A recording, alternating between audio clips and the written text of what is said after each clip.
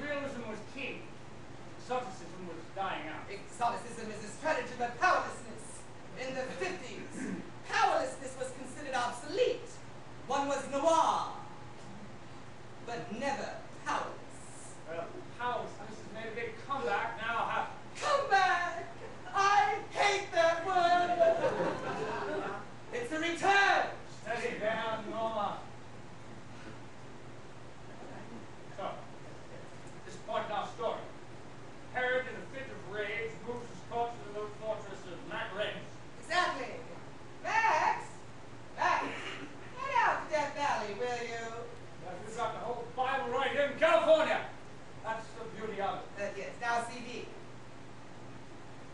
ayuda.